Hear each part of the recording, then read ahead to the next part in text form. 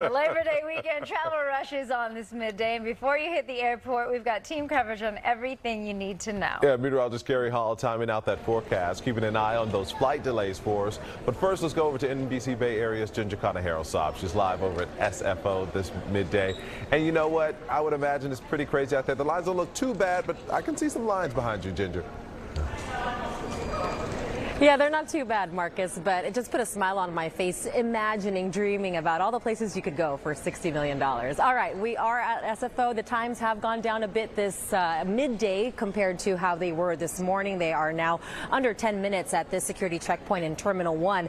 Nonetheless, SFO is the busiest airport in the Bay Area, and starting today through Tuesday, the airport is expected to see more than 930,000 passengers pass through. That's almost 9% higher higher compared to last year. Now, we spoke with one San Francisco man who says a Labor Day travel rush won't keep him from getting on a plane to Michigan.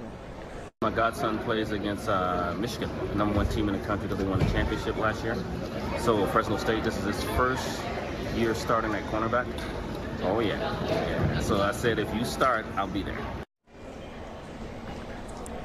It's college football season. Don't be surprised if SFO and San Francisco feel and look busy this holiday weekend. According to AAA, San Francisco is among the top local destinations this Labor Day. It's joined by New York, Boston, Denver, and Chicago. Now, domestic travel up 9% compared to last year, with travel costs down 2%. Europe is a top destination for the upcoming holiday.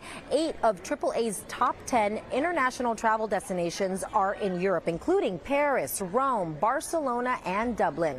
International travel over Labor Day, however, is down 4% compared to last year. But whether you're traveling domestically or internationally, don't forget those TSA rules because it might set you back a bit getting onto your flight. TSA is expected to screen a record breaking 17 million passengers.